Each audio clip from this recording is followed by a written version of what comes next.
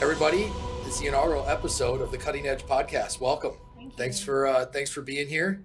To my right is uh, the esteemed Mr. Rick Weymier. Uh, next to him, Kelly Payette. Next to Kelly, uh, Miss Nicole Crites, and uh, my co-host for the show, Tyler Talman.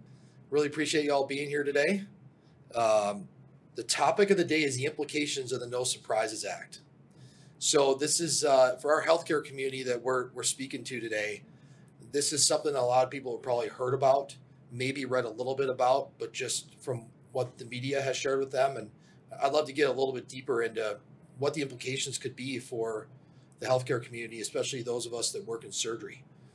Uh, so you know we'll, we'll kick it off right away. I'm, one of the first questions that I had to start the conversation is, you know, share your thoughts on the No Surprises Act you know what you know, um, what you may not know, maybe something that concerns you about it. And uh, Rick, let's just go ahead and, and start with you.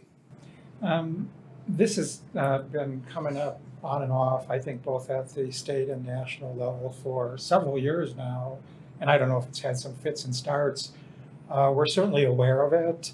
Uh, we understand why there is a large interest in it because I think patients have a right to know uh, what their health care is going to cost. I think, fortunately for us, we've already put some things in place where within our practice, when we do use somebody that's not contract with the insurance company on the front end, we just do full disclosure. And I think where this act is going is I think they want everybody to have transparency and full disclosure. So I'm not sure if legislation is the right approach, but I get the reason why it's become important in the industry. So Sure. I was going to say, Rick, when you say full disclosure, tell me a little bit about what that means in the healthcare space. What what are the types of things that you're having to disclose as a part of this act now? Um, when we do surgery, um, the insurance companies have not been willing to credential or contract at a favorable rate. I shouldn't say favorable, an acceptable rate with our surgical assists. So what we do is we tell the patient that our surgical assists are a very important part of our uh, the procedure for you for safety, outcomes, patient satisfaction, and we will be using them. And we just we're just very upfront and say they're non-contracted, and you will be paying for your services with out-of-network benefits. And then for full disclosure, we actually have them sign a document so that they understand what they're getting into. That makes sense. Yeah. So you know, I think it's also important just to note that, you know, I- think all of us sitting at the table would agree that, you know, being able to have full disclosure with your patients, it, it's an important part of being a, a quality provider of healthcare.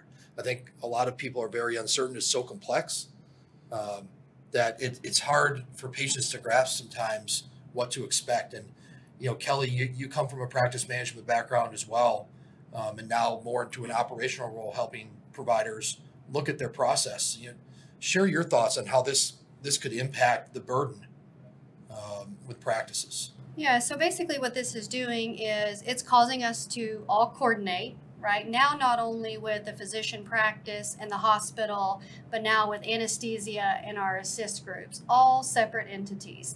And it is taking it further now where we have to not only fully disclose to our patients, hey, this provider may be out of network, but to also tell the patient about the pricing transparencies, which we don't always have, right? I don't know what a hospital is charging. I don't know what a surgical assist is charging or the anesthesia group. That's pretty, you know, that's pretty interesting, right? Because I think the average consumer, and Tyler, you know, you and your wife just had a, an experience where you, where you brought uh, a new family member to the world. Mhm.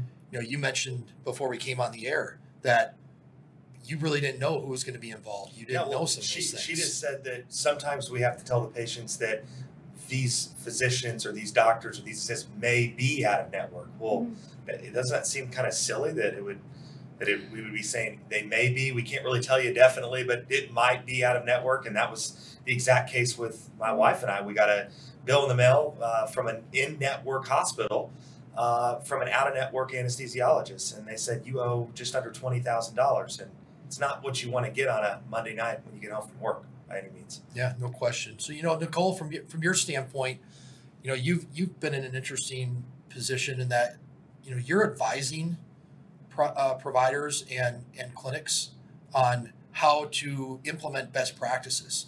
You know, how do you see this potentially impacting um, what providers are going to have to do just to have a chance to get paid? Well, I think it that's actually a complicated answer. Um, the new stipulations rely heavily on the assumption that the current system of obtaining a benefits verification, getting a pre-auth for a surgery, getting a price quote for a surgery that might not be set at a contracted rate, all of those things we are assuming are currently in place and currently working the way that they are supposed to work. That's not that's not actually the case. Um, so my concern is the additional steps that we're going to have to follow under the new legislature will just compound the problem. I think that if the foundation is not um, solid, then the house is going to crumble. And right now, the foundation of what we do as far as obtaining a fair quote for benefits um, is not very solid. So, you know, I, I think one of the questions I have for the three of you sitting at this table do you think we're running a risk of chasing providers out of the healthcare system where we already know we have a shortage because the administrative burden is getting to a point that it's just untenable?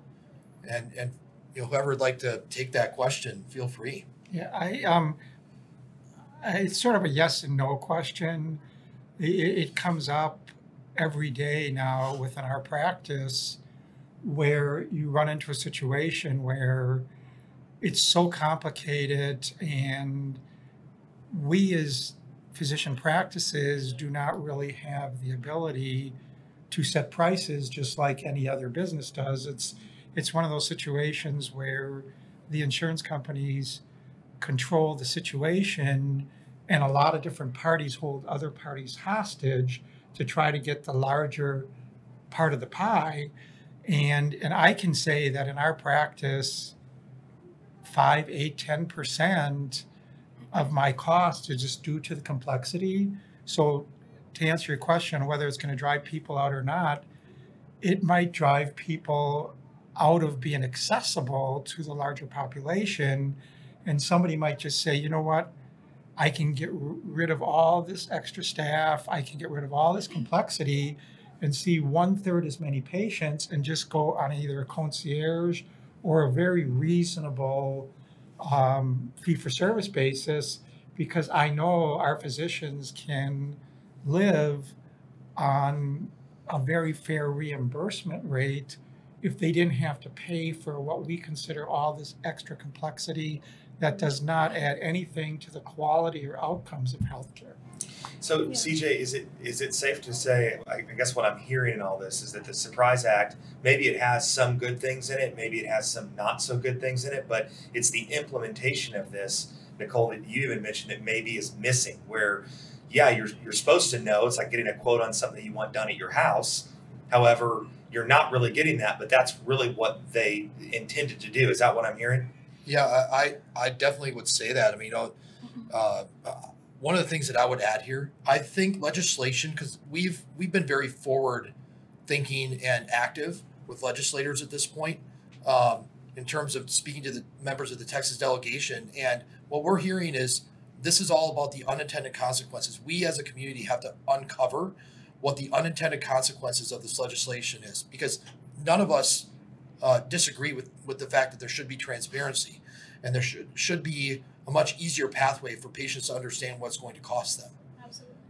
But, you know, I, am curious, um, you know, from the panel here uh, to be able to talk about what is the most concerning unintended, unintended consequence that this could have uh, on, on the healthcare It's quality uh, of care. It's quality of care. So to, to kind of, you know, put it in perspective for somebody who may not know healthcare very well. Your kid just broke their leg. Okay? Yep. And it's four o'clock. You know a surgeon's office is open. You're going to see that surgeon, the surgeon that you know and that you love, right? But it's it's four o'clock. By the time you get checked in, everything, you're seeing a surgeon at five o'clock with a broken leg. The doctor is going to have to take that child to surgery a lot of times, right? Right then and there. Well, the doctor either doesn't have a PA, right, because the practice can't afford it, or the surgical assist that we're going to have to, because we have what you call on call, because doctors are not supernatural. They have to sleep, they have to eat. Yeah. Um, and so the physician that happens to be in the clinic is going to treat the patient. They're going to take it to an in network hospital. But at this point in time, the assist that may be coming to help the provider will not be in network. And that is the insurance payer's own doing by not contracting with the surgical assists or not contracting fairly to even pay. Because, see, this gets real complicated with even paying enough to pay the salaries of these individuals. So, this is such a larger topic in the fact that you're wanting to pay $20 for a three hour surgery when the salary of that individual you know, is a six figure salary, let's say. And so at the end of the day, if the provider can't use that surgical assist, it's it's quality of care. He's not going to have the help that he needs. Well, doesn't doesn't that come downhill to to dealing with patient safety? I mean, it sounds Mhm. to me like if if Yeah. the provider can't get paid enough, at least if it's me, I'm just going to go find I'll, I'll go sell hot dogs on the corner, right? Like, let's let's be honest. I mean, speak to that. Well, you know, to, to add on what Kelly says, where, where our challenge is that often non medical providers or non medical personnel are trying to decide on behalf of the doctor who they can and who they cannot use to mm-hmm. help them with their case. And yeah, sure, maybe a hand surgeon doesn't, they, they can say, well, you know, what are you going to do? Hold their finger? You don't really need two people but there's a lot of things involved with safety and quality and outcomes and room turnover and two sets of eyes that really ensure a much better quality and safe outcome for the patient. And i think you know they don't contract with you because they don't think you need it but shouldn't the physician do it? And i can tell you and and, and there's a lot of talk out there about physicians just doing it for the money but I know that the vast, vast majority of physicians will only do what's appropriate for the patient, and they're not sitting at the cash register when they're doing it. So to, they, they need to be able to say, this is what I need to do, how I need to do it, and where I need to do it, and they need to be fairly compensated So- for that. So, Rick, if I heard that correctly, in a nutshell, we're allowing the insurance company to decide whether or not a, an assist is appropriate for a physician. Yes. Correct. And, wh- and how do they? What's their qualification from a medical standpoint to make that decision? they have nurse they have nurse case managers Okay. so basically all of these insurances and remind you not even every single insurance can get on the same page. United healthcare might cover an assist for this surgery while cigna will not. So they can't even they make their own medical guidelines by their own what i assume by the way we've never been able to sit down but they make their own medical guidelines. They have what you call a pre-authorization things you have to go through you have covered and non-covered of an assist but many people don't understand, other than that orthopedic surgeon who, guess what, may not be an orthopedic surgeon that is the CMO of United Healthcare making the decisions. But the orthopedic surgeon, I've, I've watched surgeries. They have tools that they have to clamp down all while cutting. And it takes an assist to hold, clamp, pull back the whole skin, you know what I mean, while the Mhm. surgeon is cutting and doing these other things. Yet an assist isn't covered on that, dictated by the insurance. Okay, so you know, look, we're, we're talking about you know what I don't want to do is is dog the insurance companies because I think there's there's multiple stakeholders in this deal. So Right. let's peel back the onion for a minute and let's talk about the potential cost implications if this legislation is, is not implemented in an ideal manner and who's going to end up carrying the bucket with any type of uh, uh, negative cost implication. Nicole, I'm curious what you think. Yeah, so I, I want to go back just a little bit though. I don't, um, I'm with you. I don't think that we need to get into a zone where we're attacking the carriers or, you know, putting all the blame and all the onus on the insurance company. But I do think it's important to mention that the new stipulations are largely focused on the out of network provider and maintaining, you know, fair and um, accurate cost of care for the provider. It doesn't so much address the inaccuracies on the carrier side, which is, I mean, that's glaring. That's a part of the problem. So I think we all agree that we want to eliminate um, any kind of predatory out of network billing to the consumer. Um, but to do that, we have to get the carriers to come to the table and offer fair rates and fair reimbursement for these providers. Awesome. Now, with that reimbursement, you also can factor in what is it going to cost these offices, what is it going to cost these um, hospitals and one-off providers that are in solo practices to be able to beef up, beef up their staff and accommodate the different intricacies of the new law. Um, if we don't address that, if we can't come to an agreement there, then I'm afraid what we'll start to see is less um, small practices. We won't see very many one or two doctors practicing in a small, you know, community practice. What we'll see is more large groups, um, hospital-driven systems, and I think that that would definitely leave our healthcare lacking. Um, you know, it works in some settings, it doesn't in others, and we don't want to get to an all or nothing type environment. Sure. Okay, so we've got about two minutes left here uh, in this segment. If you guys had to to talk to your colleagues here for a minute who are listening in, uh, fellow administrators across multiple practice types, what would be the number one thing that you would tell them to do uh, related to the, the No Surprises Act? Rick, we'll start with you.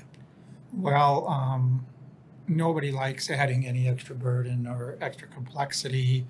Um, I think, irrespective of the Surprise Act, I, I, I do think that in the parts that you can control, Mhm.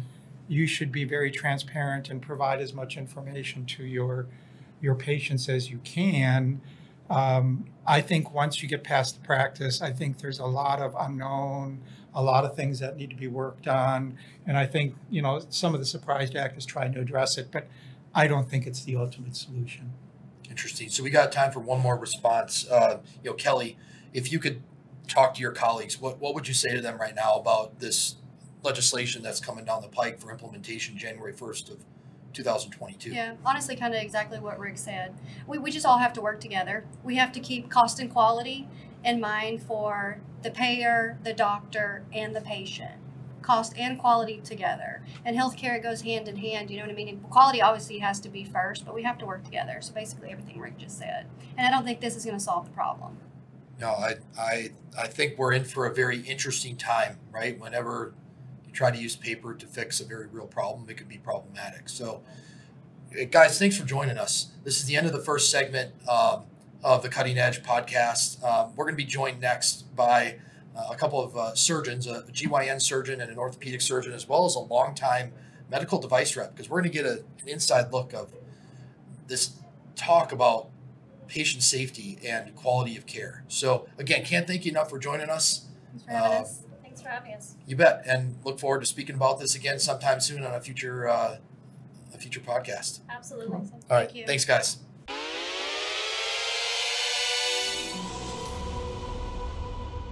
Awesome. Well, uh, everybody, welcome back uh, for segment two of our inaugural podcast for the Cutting Edge. Uh, we had an awesome discussion first uh, first segment with uh, a number of uh, medical practice administrators and consultants talking about the administrative burden uh, of the No Surprises Act. So, you know, what we wanted to do is we wanted to be able to talk to some clinicians that uh, that this could directly impact uh, with patient care and and uh, care delivery. So we're being joined by uh, Dr. Jessica Shepherd. Uh, Dr. Shepherd, thanks for joining us, Absolutely. Thank you for having me. and uh, Dr. Kevin Kruse. Dr. Kruse, you there? Yes, sir. Thanks for having me on, man. Awesome. So uh, let, us start out. Uh, you know, Dr. Kruse, share a little bit about your uh, your specialty and your background. Uh, so I'm an orthopedic surgeon. Um, I specialize in the shoulder. I do. Uh, um, I'm in private practice in Dallas, Texas. I trained in uh, South Carolina, and then I did a fellowship in Pittsburgh and a fellowship in France to specialize in shoulders. I've been out in practice for six years now, and uh, yeah, grew up in Indiana, Indiana originally, but uh, made my way down to Texas about as fast as I could. So. Awesome. So, Dr. Shepherd, tell us a little bit about your specialty and your background. Absolutely. I am a fellowship trained minimally invasive gynecologic surgeon. So I specialize mostly in the surgical aspect uh, of complex gynecology um, and trained mostly in the Northeast, uh, going through New York and then through Philadelphia and doing a fellowship um, in Louisville and, and similar to you, Dr. Kruse, in France as well, um, in Strasbourg. So taking all of that uh, experience and now you know having done surgery for over 10 years uh, that's a big part of my practice and especially in women's health and women's care there's a lot that we need to you know get through as far as health care and benefits and talking today on these important topics Awesome. Well, you know, we wanted to lead out of the gate. You know, the the topic, the overall topic, is the implications of the No Surprises Act, and I know that both of you have been briefed by uh, surgical assistants uh, or groups that you work with, But what we wanted to talk is we really wanted to get down and dirty into the the environment inside the operating room and the role that the surgical assistant plays up alongside of you. And you know, uh, Dr. Shepherd, just speak a little bit to our audience about you know all the various team members that are involved and and uh, you know the roles they play uh, in the operating room. Absolutely. You know, when you think of you know actually practicing and, and, operating in the in the operating room, there are a lot of steps that go towards you know what makes it efficient, uh, what makes the best care for the patient, which is ultimate, and then also contributing to the post-operative you know impact on that patient, and also the hospital system. Uh, there are a lot of different or a lot of different things that impact how we actually see these outcomes, how we can make the best outcomes for the patient as well as for the healthcare system. Now, typically, you know, when we think of training as a, as a resident or a fellow, you typically operate with attending surgeons. And if you work in an academic setting, you can find that there will be a lot of residents who are there to help provide some of the help throughout the surgery as they're learning as well. But there are many hospitals, you know, most of them, I would say, in surgery care centers throughout the US that don't have that ability to have residents and fellows work with them. And that's where we really have to find that person who's going to be able to give, you know, really good operative um, assistance to the surgeon while they're operating. And surgical assists are a very big part of how we are able to be efficient and to be um, really you know, do our best in the operating room as surgeons and provide the patient good care. So, you know, Dr. Kruse, you know, let's let's take a, a, a next another step into that uh, role with the surgical assistant. So, specializing in shoulders. You know, imagine what would your world be like if you didn't have all the appropriate team members, including the surgical assistant, to work up alongside you. Yeah. So, I mean, honestly, like you, you cannot do a shoulder replacement by yourself. Like, like it's physically like, I mean, I think maybe you could, like maybe you could. I'm trying to picture my mind. It's really difficult to do it with one person, honestly. And I have two assistants help me, and so like I, I can't. I'll, I'll tell you. I'll tell you an example, a funny story, right? So I was beginning in practice, and and like Dr. Shepherd alluded to, like you don't have residents and fellows running around, but my one of my co um, one of my partners actually has a fellowship. Like he runs a foot and ankle fellowship in Dallas, and so he had a fellow rotating with him. And, and I went downstairs, and it was at this surgical hospital. And uh, believe it or not, I was actually where Tiger Woods had his back fused, but it was up in Plano, right? And really good surgical hospital for TBIs at.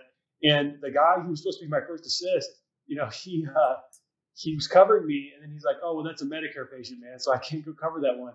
And so I go downstairs, and, and the, they were like, and I was like, well, who's going to help me? And they had this, um, it was like a 75 year old woman who was a scrub tech who had never seen arthroscopy before. And that was, that was going to be my assistant, like the tech actually. And I was like, guys, we're going to have to cancel the case. And so I actually got the fellow, my my partner's foot and ankle fellow, to actually scrubbing the case with me. But but for a lot of the surgeries we do, you you literally can't do them without an assistant, and you couldn't do them well without question efficiently. You know, and and that's part of what you know helps the healthcare become smooth and efficient and get great outcomes is having you know team members involved and um, a lot of the procedures that I perform, I, I, don't think that I could do them without an assistant. You know, unless there's some sort of massive revolution in the technology we have right now. So it's just it's not a matter of like having it as a luxury. It's just it's mm-hmm. a necessity. It's interesting. So Tyler, I saw your face as we're sitting here, as Dr. Kruse is saying, the surgical assistant steps out because Medicare won't pay for him. What are you thinking yeah. as a patient? it, it just it, it furthers to me just how broken in a lot of ways our system is and i think it's just such a hot topic and and uh, you know hearing from dr Kruse just the necessity of having to have that person in the room and the fact that a lot of these places that we're going it's just not an option and without him having to cancel that case uh, or you know without him even considering canceling that case that you know that here's a person that needs to be operated on and they don't even have the uh, the right staff at a hospital that, by the way, I, they're paying a lot of money to to get uh, to get work done. Right. Yeah. And I think too, CJ, you know, like I wrote a book about this, by the way, like about coming into practice as a young surgeon. Hey, bud, just hold on one second, all right? All right. Um, so, and, and one of the chapters is about having assistants in the OR. And, and what I talk about is that um, when you first start practice, you need to find a good surgical assist. And maybe you're not ready to have like a full on PA, like to assist you. but you need to find a good assist, and that's gonna that's gonna help your outcomes massively when you start practice. And I think a lot of guys coming into training, they don't understand the way it works when they get out in real practice. And, and females too. I'm sorry, I didn't. But but a lot of, of, of physicians don't understand when they come out uh, in training that that you need to have someone there to assist you, and it's best if it's someone consistent. You don't just want to be grabbing some random tech from the hospital every time because you, they're going to make mistakes. And if you can get that person early on and, and, and create a relationship, your your efficiency, your speed, your your skill level, it just ramps up so fast. So there, there's, I would got to be definitely a, say one of the things about working efficiently as a surgeon is, and, and anything, if you think of the, you know, the book by Malcolm Gladwell, Outliers, is in order to be the best at your skill is doing it over and over again. But that requires a team and that requires consistency. And that's what surgical assists provide. And when you don't have that team or you have the stress, you know, there's also an emotional aspect of of um, surgery when when you're talking about surgeons is getting that crew together. And if there's a lot of time that's spent arguing about who's going to be in the case and who's not able to get reimbursed, I think that those are things that boil down to the actual stress level of not just the surgeon, but the operating uh, room and all the dynamics, as well as the patient. Many times they are brought into these situations because of whether it's payment, whether they're paying, or who's able to be in their case based on uh, insurance. So there's a lot that's composed in all of this. And I definitely feel that the efficiency and effectiveness of the skill of a surgeon is limited when you don't have a consistent team. Yeah, that, I mean, that, those are some great comments. You know, with Charlie, you've been a, a, a surgical device rep in the orthopedic space for 20 plus years. 22. Not not to put an age on you, but Thanks. you know, you you've I'm sure you've seen some uh, some great outcomes, and you've also been on the other side where you they haven't had the right people. It's not just about the tools, but the people. Maybe tell us about what what you've experienced. Is there anything that comes to mind? Well, you know, I've I've been in um, been doing hips and knees for going on 22 years now, and I can tell you from just tourniquet time alone what the difference is is when a surgeon has a surgical assist and when they don't have a surgical assist. And the the frustrating part for me is is that this is a, a money play for the insurance companies, and what they don't realize is by pulling these assists out of the surgeries is it's going to increase OR time, which is going to put more, you know, more financial burden on our, our already stressed system, and it's also going to reduce uh, a patient's, you know, ability to have a perfect outcome. Interesting. You know, it, obviously there's a lot of clinical implications here with this. You know, and, and going back to what we what our topic is with, you know, trying to remove surprise billing from the uh, from the environment. You know, I'm curious to hear Dr. Shepherd and Dr. Kruse what your current providers have said to you about this legislation. What do they know? What do you guys know about the actual legislation itself and, and what it's intended to do? Well, I think that because I have a very astute surgical assist, uh, I know about these these bills and, and, legislation that's passed. But if I were to ask my my colleagues and myself, I'll put myself in there. I definitely know that these are things that we don't discuss uh, in the operating room in the office um, and knowing exactly what's going to impact us as providers and, and what that outcome looks like. Many times we're so blind to that, and those are things that we really should be discussing because it's exactly where we are, why we are where we are now. You know, Dr. Kruse, you're, you're part of a larger orthopedic group here in DFW. You know, have you talked to your colleagues, uh, your fellow surgeons and, and partners about what's going on? I mean, what's what's the chatter amongst your uh, peer group? I knew that there were things in the bill, uh, but I didn't know about surprise billing, but I didn't know how the surgical assist uh, part was going to be addressed. And then, you know, obviously, you and I had a conversation about the other. And, uh, you know, if, if, if some of the things that happen, or well, I guess um, some of the implications of the bill could really have negative impacts on the, uh, you know, for the ability for a surgical assist to make a living doing this, right? Like, like that's the biggest thing. And then you, then you say you're going to put the burden on the patient now. If the payers aren't going to pay, and doctors say we need this in order to do you know proper surgery, well then now you're having to take a patient who has a copay, has a deductible, paying out of pocket several thousand dollars, which just keeps going like this, right? Like the deductibles just keep going up and up and up, and, and the copays just keep going up as the insurance company's profits just keep on skyrocketing. It's actually amazing. Um, but but now they're just going to put more on the patient.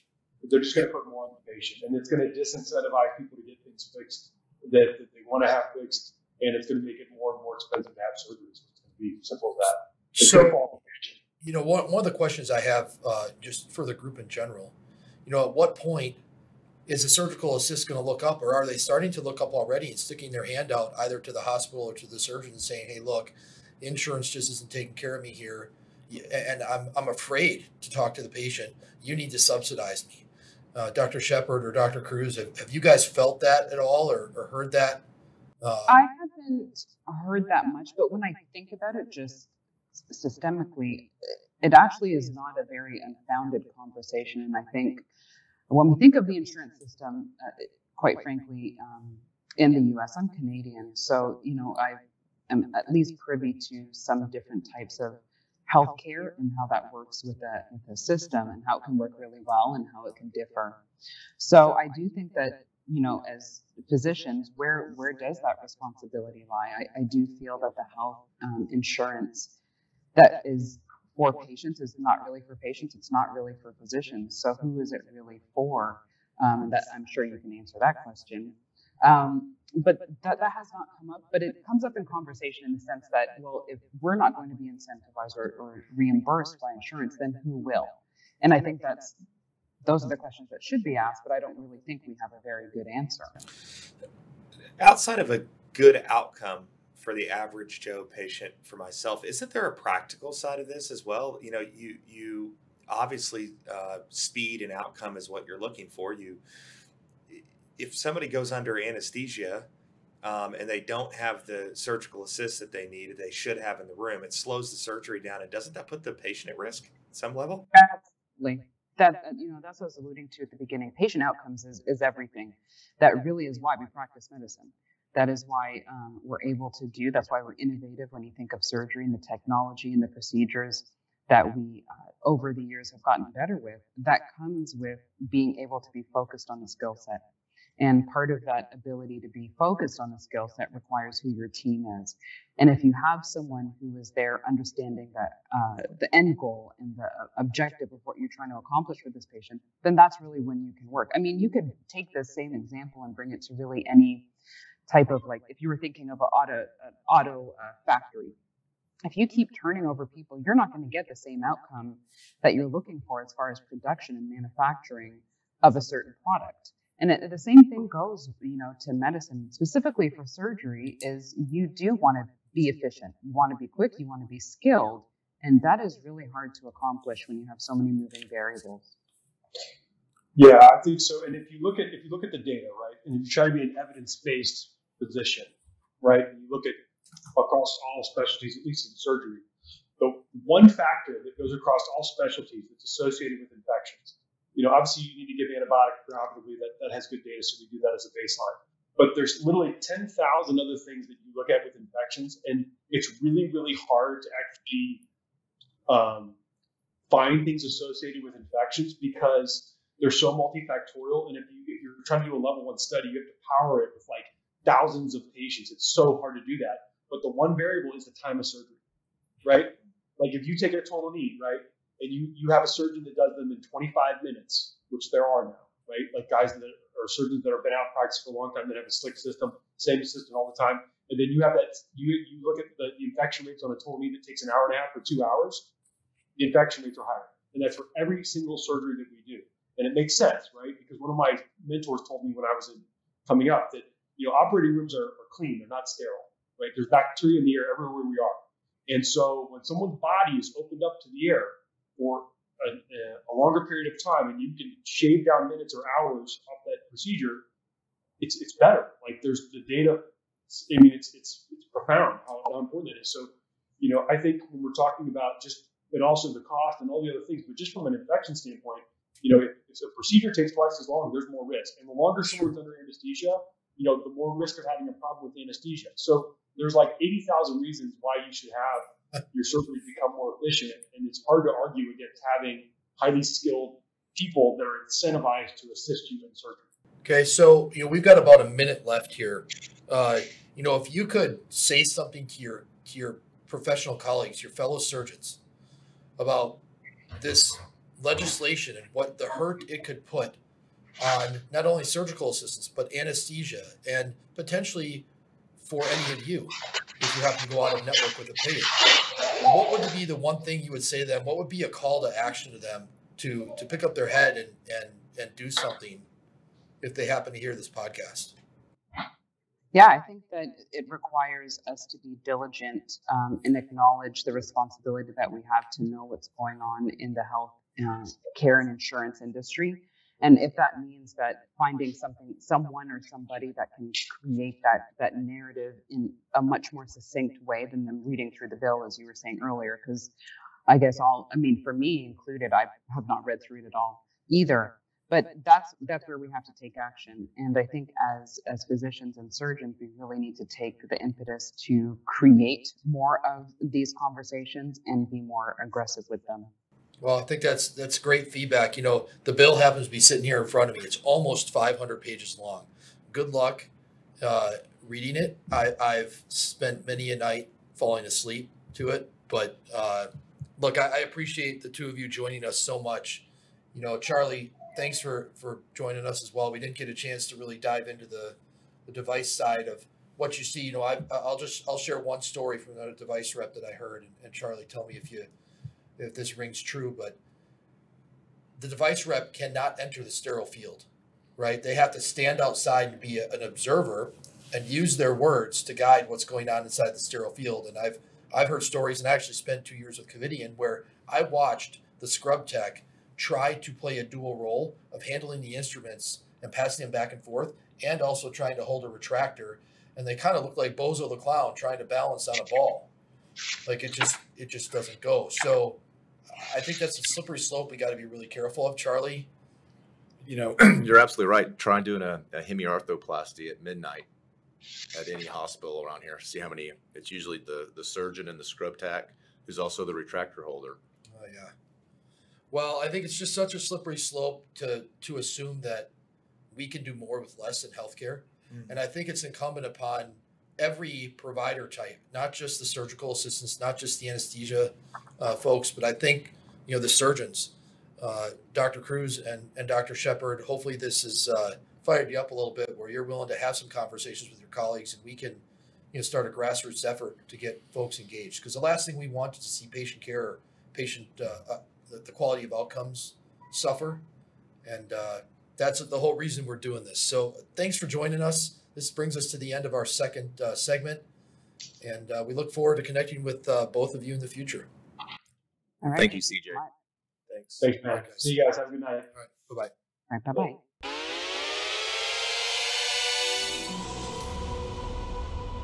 Well, hey, everybody. Thanks for uh, joining us for our third and final uh, segment of our inaugural podcast for the Cutting Edge. Uh, topic, once again, is the implications of the No Surprises Act. So, we've talked to uh, practice administrators, medical practice administrators, then we've talked with surgeons and a surgical device rep who are in the active OR and depend on our surgical assistants. But now we're going to talk to two uh, wily veterans uh, of the OR here many years of experience. We won't say how many, but uh, also very well trained on the Da Vinci platform mm-hmm. for robotic surgery. Mm-hmm. So, ladies, uh, April Snipes to my right, and next to her, uh, Renae Ross. Thanks for joining us. Thank you for having us. So, we're, we're going to talk really what we want to do is unpack a little bit more about what you guys do, the role you play. You know, I think it's wildly unknown once the patient enters the double doors right, and disappears from their family or from the waiting area, where do you guys step in and and what are all the things that you do uh, in, as we say, a day in the life of? So, who wants to take the lead on that uh, question? um, I, will I'll start. Our so the day normally starts for us around. It depends on when the case starts, but I'll get there before the surgery and meet the patient in pre-op. Um, do that for several reasons. One, so they can um, know my role and who I am, but I'm also assessing the patient at that time. And based on that assessment, I'm gathering and mentally starting to gather a list of supplies or extra things that we need. If they've had prior surgeries, we may need to open, or um, if it's a critical case, we need to make sure we have some different vascular instruments in the room. So from there, um, then I'll start liaisoning with the circulating nurse in the room and letting her know different things that we may need and head back to the OR and that's and then when the patient rolls in um, we'll help them get moved over to the OR table and go off to sleep um, and then after that usually the surgeon is rounding at that point or doing other things so they're not in the OR yet and so we'll go ahead and get everybody positioned, the patient positioned, um, which is actually one of the more important things in the OR Mm-hmm. because they're under general anesthesia. So, um, so we'll get them positioned. Um, if have the when the just let the surgeon know when we're ready, and then we'll prep and drape, and that's whenever the the real um, roll starts. So, so you know, you you just explained a whole list of things, right? Like, I mean, does this take six minutes? Does it take sixty minutes? I mean, how much time is Mhm. going is being put in before the first cut actually happens? Um, it, it'll vary. I think it definitely varies. If you're doing a spine case, um, it may take longer to prep. Uh, if you're doing a robotic case as well, uh, it varies anywhere from maybe 10, 15 minutes to 30 minutes to an hour.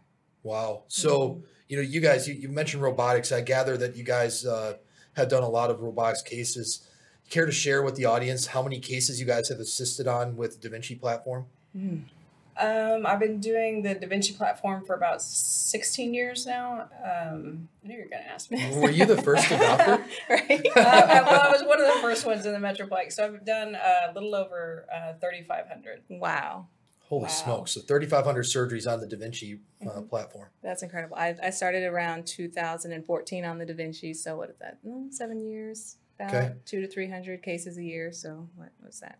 Yeah, 2100. 15. Yeah, I mean, that's, yeah, seven years at Yeah. 300 is 2,100. I mean, that's, that's a lot of experience. I'm curious, how does the how do how do the circulating nurses perceive you guys in your role? How does that?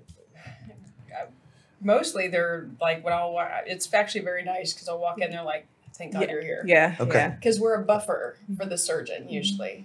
Um, that's part of our role, I believe, is to help make sure he has everything that he needs, um, and to try and be a little bit of a, like I said, a buffer between the doctor and the and the staff if we can. And yeah, help set the tone, I think. And it's and it's also it's so helpful to have an additional set of hands, especially trained. Yeah. We're all nurses, so we understand the role of circulators, and it's it's difficult. Um, so having help with positioning, patients are not light, um, and knowing that, and you can cause nerve injury if you don't position pa- patients properly. So it's important to have another set of trained hands in there. RNFA, first assistant. What is what is that? What's the first assistant piece? Registered nurse first assistant. Okay, So um, typically, a first assistant can be either another surgeon, um, a resident surgeon, someone in training, or a registered nurse first assistant, a PA first assistant, nurse practitioner, or a licensed surgical assistant. Um, so there, and CSTs um, can be first assistants. So there's a variety of healthcare providers, but we're trained to actually uh, provide assistance to the surgeon, which means I always tell people it's like whatever the surgeon needs to be able to see their target anatomy. So if it's retracting, suctioning, helping with um, hemostasis, you know, tying sutures, suturing, cutting, everything. So I've heard I've heard of stories where surgeons haven't closed a wound on their own in years. Is that Mhm. true? Yeah. hmm Absolutely. Or they'll say, just you just do it, and Yeah. they'll go. Well, they're trying to also do, go dictate and round but usually we're the ones that close skin for the most part, and Yeah. they're just happy to let us do it, so they can Yeah. go. Definitely. Interesting. So I'm going to ask the bombshell question here. Are you guys in network? No, No. Why? No. I was in network uh, for several years with one insurance company, and the reimbursement consistently kept decreasing. And even in, in one year, it was going to decrease a li- about 19%.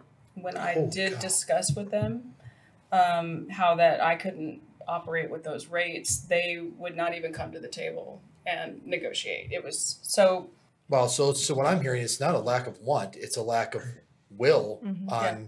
the other side of the table. And and you know, is is your industry? You know, physicians. You think of physicians as being in their own private practice, hanging their own shingle, kind of small group. But that's starting to change a little bit, right? We're getting larger groups. Yeah. What's the surgical assist industry look like? Is it big groups? Is it corporate, or is it, you know, you're hanging your own shingle?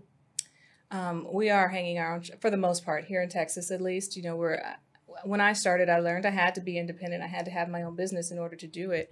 And so, you know, it was a lot of just learning. There's not a lot of information for you to gather. There's not a lot of us out there. So you kind of learn as you go and figure it out. I tried even to get in network. Um, for instance, with Aetna, and they told me they had a closed panel, which meant that they weren't allowing any first assistants to get in their network. Um, That's troubling with this legislation, don't you think? I mean, obviously, that I I think we all sitting at this table would agree that pricing transparency and getting consent from the patient, if you're non-contract, would be a good thing. But you know, what are the negative? What are the unintended consequences here uh, from you, from your standpoint with this legislation, uh, with this with cervical assistance in particular? I think the spirit of the legislation is correct. I mean, I think especially we're all patients as well. I mean, not just providers, and so understanding that and the goal um, behind it is is good. But I think that they definitely didn't understand the the impact, the collateral damage that was going to happen um, for us. This potentially, I mean, it's it's potentially huge for the independent assistant. It could put us out of business. Wow. So, Tyler, I see a very concerned look on your face. I mean, Well, when you hear Well, hear that, what do you think? What's interesting to me is is we've had three segments and we've gotten to hear this from so many different angles and the massive importance of surgical assistance. And I, I'm curious, and maybe this is uh, my own ignorance in this space, but w- t- talk a little bit about how you guys charge for your services. And how does that compare to, let's say, a regular RN that's a circulating nurse? And because to me, this is silly. I mean, if if if doctors are understaffed, they don't have the people that they need to to what speed up the surgeries, to make sure that patients are not under anesthesia for too long, and all these things are in play. Why is this such a complicated thing for the insurance companies to to understand? And and are the insurance companies putting themselves before the health and safety of their patients and are, are the patients and individuals? I don't know. So talk a little bit about that. For um, I usually I have a letter that I have a lot of support from my physicians, and so the patient's receiving a letter from me initially. Um, So there is some degree of notification happening in your Mhm. situation. Yeah. yes. Yeah. Okay. So, but what about consent? Because that's a totally different animal, right? Yeah, we uh, to some extent there's some consents, but there's nothing um, to the level of what they're talking about. In addition, you know, for me, I, my cases book out very far in advance just because of the kind of surgery I do. So that's going to be a doable thing for me. However, for a ton of other specialties, it's Mhm. not going to be a, a doable option Yeah. because So, of the time April- constraints. you know that that's interesting, right? So time constraints are one piece. Whether or not the patient will actually consent Mhm. Because they have this idea built in their head that everybody should be in network. Mhm. I mean, how much work are the physicians willing to do on your behalf? Are they willing to do any of this Um, that's potentially being asked of them? I mean, they can only do so much. So they, my physicians will notify the patients in advance to let them know that I'll contact them because I do um, need to send them this information to introduce myself, let them know who I am and why they're going to be getting a bill for my services. Um, but that's they- they're busy; they don't have the time for that. So I actually try to take that on myself. Um, and what I found is the administrative burden I couldn't afford. Um, I had to hire someone to do it because if I'm in surgery, then I can't go around chasing um, the administrative piece. But because the reimbursement was so low, I couldn't afford to continue to do that. Uh, the wow. problem. so so you tried. yeah, oh, you I really tried. I tried, mean, I was sending out consent forms and had a website, and people could go online. But the problem is, you, um, you know, patients are just like, why isn't the insurance company paying for this? So let, let me get this straight. Not only do you have to be 100% on top of your game in your specialty, working ungodly hours Mhm. inside of an OR, now you've got to be an entrepreneur. Mhm. You've also got to be a bill collector, an accountant. Yes, CJ, maintain this is, this is licensure requirements. It is. Yeah. It is. I mean, no I think time, no this, this goes back. I said this in other segments, right? I asked the I asked the panels that joined us, what are the unintended consequences here? Mhm. What's the what's the top one or two unintended consequences of this legislation that could just come back to bite the patient and Joe Public in the butt? Truth, I'm going to tell you a story. Um, I because I see it happen. I know you've seen it too. We, I've seen them pull in um, people to come in and take care to assist in surgery. They're not trained. They they Mhm. work um, in the core. Um, they help with transporting patients and stocking. And if they don't have help, they call them in to be retractor holders. They come in, they help with surgery. No training. And you're asleep as a patient. You have no idea that these people are coming in and they're participating in your care.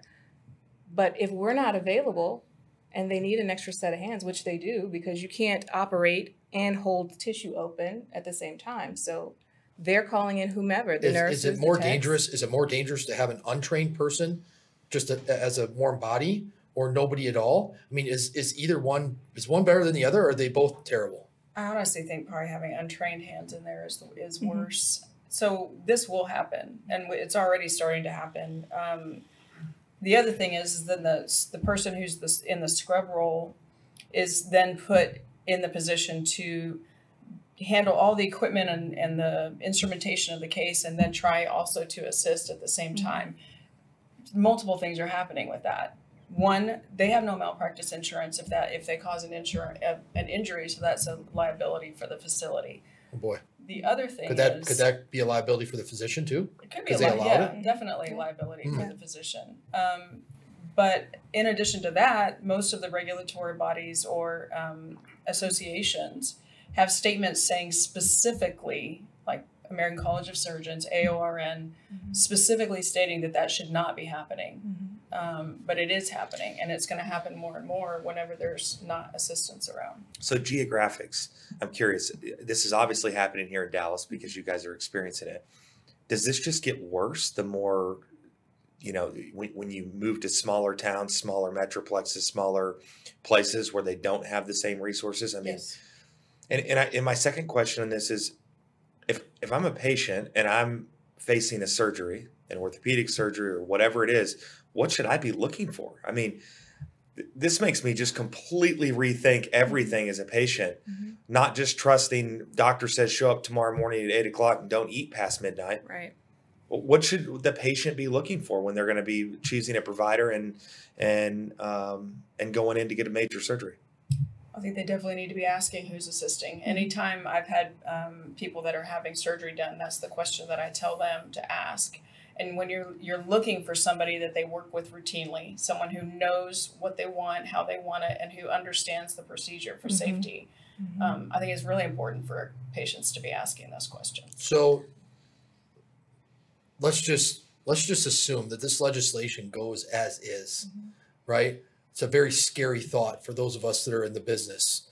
But what's what's the ultimate implication if the if sensible regulations aren't put in place as part of the rulemaking process here uh, as we prepare to implement the legislation?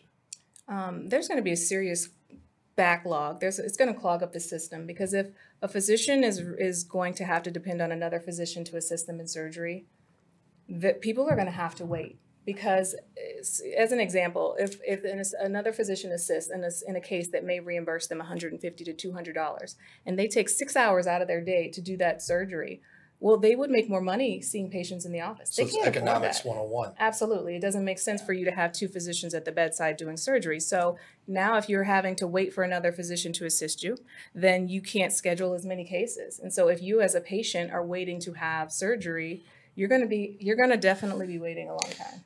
I don't. You might. CJ's probably going to kill me that I'm bringing this up, but I'm, I'm really so curious. Overall healthcare reform. Everybody knows there's reform needed. This is to me a piece of that reform. But I'm curious where you guys sit in the middle of all this every day. What what does and quickly? I mean, I know this is a deep topic, but pure healthcare reform, whether it's single payer or it's government healthcare, what are your thoughts on that? Uh, does it work? Does it, how? Do, I'm just very curious from you guys' position, especially trying to play entrepreneur and Mhm. nurse.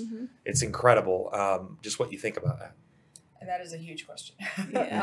um, briefly, what I think needs to happen um, insurance is need, needs to, whether it's an in or out network, we've got to have some sort of reasonable market value reimbursement.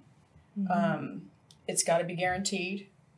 And I think there's got to be something to stabilize it. It's it continues to go down. One of the biggest things that I keep saying is premiums are going up, deductibles are going up, payments to providers are going down. Mm-hmm. Who's in the middle? Right. And it's the insurance company. Right. So until we target what's going on with insurance companies, there's not going to be any healthcare reform. Mm-hmm. Well, so with with your final thoughts here, because we're we're coming up on on the end of our time. Um, if you could speak to a colleague, you could speak to a legislator, you could speak to a facility administrator. What would you say to them about what they need to do to step in and make an impact? For a colleague, I would say they've got to. I mean, I'm not one who enjoys any sort of politics or getting involved, but this is and this is literally the first time I've ever stepped up. It is time for us all to step up and um, make our voices known as providers, and we can't expect other people to do it. Um, Yeah, and, and I would say that, you know, don't forget you're going to be a patient one day. It will come, it will touch every single one of us. And if it's not you, it's your child, it's your parent. They're going to enter into a system where they can't trust whether or not the care that's being delivered to them is safe. And I mean, do we really want that? I mean, who really matters? You got to ask that question. I mean, who, look at COVID. At the end of the day, who are you depending on to save your life when you end up in the hospital? Is it the insurance provider or is it the healthcare provider? Right. Well, I mean that's that hits home for me, right? Last thing I want is to go in for a potential life-saving surgery and either I can't have it because there's not adequate staff Mhm. or the surgery gets botched Mm-hmm. Hey, because it's life saving, or maybe it's just quality of life saving. I mean, Right. I mean, if you Well, lose, if you can't, you know, if you can't walk, if you Mhm. can't enjoy playing golf, you can't do those things because of negligence. Yeah. Um, quality of life's everything. Well, I think we have an interesting uh, opportunity to engage with the community. Um, it- it's going to take everybody, and I think we have to start talking to each other first Yeah. Before we really start talking to legislators, because I think that's that's a big challenge. We're not going to tackle that on this particular uh, podcast, but I think uh, intro community, healthcare community communication about what's going on and everybody being on the same page has to start happening. So, ladies, thank you so much Thank for uh, for joining us, giving us a little in, look into what you do and the battles that you're waging. Because I think And the good uh, work you're doing, man. yeah, Thank you. unsung unsung heroes in my mind. like it, I like Absolutely. So, uh, with that, we thank everybody for joining us and, and tuning in, and uh, look forward to our next podcast. Not sure what the topic's going to be, but I'm sure it'll be uh, a lot of fun to talk about. Thanks, everybody. Thank you.